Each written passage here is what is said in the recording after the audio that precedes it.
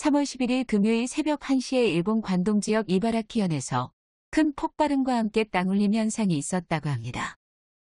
주변에 사시는 분은 주의하시기 바랍니다. 오늘 3월 11일 금요일 일본의 날씨를 살펴보면 북일본은 전선이 통과하는 영향으로 갑자기 비나 눈이 내릴 가능성이 높습니다. 최근 일본의 날씨가 추워졌으며 일교차가 심합니다. 특히 이번 주말에 일본은 기온이나 기압 변화가 커진다고 합니다. 봄의 기온 차이나 기압의 변화는 사람의 건강에도 영향을 주지만 또한 지진도 발생하기 쉬워집니다. 오늘 3월 11일은 동일본 대지진이 일어난 날입니다. 큰 지진이 일어나기 쉬운 시기이기 때문에 주의해야 합니다. 그리고 3월 5일에 일본 동북지역 살리쿠해역에서 규모 5.0의 강진이 발생을 하였습니다. 이 살리쿠해역은 최근 일본 뉴스에서 자주 경고를 하고 있는 동북지역입니다. 동북 지역 후쿠시마와 미야기현의 지진과 더불어서 매우 위험한 지역입니다. 과거를 되돌아보면 2011년 3월 10일이 발생한 후쿠시마 지방 태평양 해역 지진은 세계를 경악시켰으며 엄청난 피해를 남겼습니다. 정확히 2011년 3월 11일 14시 46분께 발생한 규모 9.0의 초대형 지진이었습니다.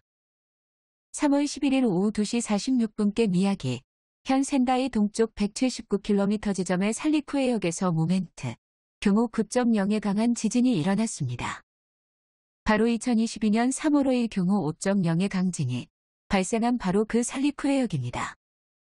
2011년 3월 11일 이 지진으로 후쿠시마 지방과 간토 지방의 대부분은 물론 홋카이도, 주에스 지방 및 나가노현 등지에서도 강한 진동이 관측되어 큰 혼란이 일어났습니다. 특히 미야기 현을 중심으로 한 태평양 연안의 도시들은 지진의 여파로 지진 해일이 강타하여 더욱 큰 피해를 입었습니다. 일본의 사실상 수도인 도쿄에서도 강한 진동이 되어 관측 오다이바의 텔레콤 센터 인근 건물에서 화재가 발생했습니다. 다시 기온과 기압 이야기를 하면 제가 자주 말씀을 드렸듯이 기온차가 있으면 지진이 더 많이 증가할 수 있습니다.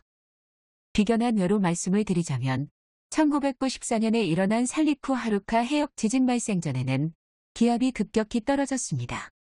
따라서 기압이 갑자기 떨어졌을 때나 일교차가 클 때는 강진에 대한 대비가 필요해 보입니다.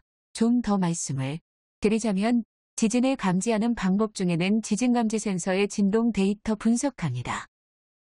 보통 지진파 파가 도착까지 걸리는 시간이 5초 정도면 책상 아래 등 근거리 대피가 가능하고 10초 이상이면 건물 밖 대피도 가능한 것으로 알려져 있습니다. 따라서 지진경보 시스템을 통하여 지진재해에 신속히 대응함으로써 골든 타임을 확보할 수 있을 뿐 아니라 발전소, 철도, 반도체, 공장 등 지진 취약 설비와 중요 국가시설도 안전하게 보호할 수 있습니다. 또한 1994년 살리쿠 하루카 해역의 지진 발생 전에 기압이 급격히 떨어졌듯이 기압에 대한 관측 또한 매우 중요합니다. 지진이라는 것은 지진에 따른 해수면의 연기, 침방이나 화산 폭발, 유성의 대기권 돌입 등에서 발생하는 대기, 중의 미세한 기압 진동의 변화가 발생할 수밖에 없기 때문입니다. 이를 통하여 쓰나미를 미리 감지하여 경고를 할 수도 있는 것입니다. 예를 들면 미세기압계를 사용하여 관측한 데이터를 통하여 미리 지진에 대한 모니터링에 사용할 수가 있는 것입니다.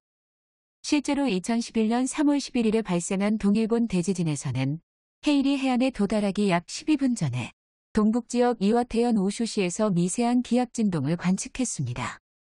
시청해주셔서 진심으로 감사드리겠습니다. 구독과 좋아요 알람 설정을 꼭 부탁드리겠습니다. 이 채널을 운영하는 데에 큰 힘이 됩니다. 감사드립니다. 시청해주셔서 진심으로 감사드리겠습니다. 구독과 좋아요 알람 설정을 꼭 부탁드리겠습니다. 이 채널을 운영하는 데에 큰 힘이 됩니다. 감사드립니다.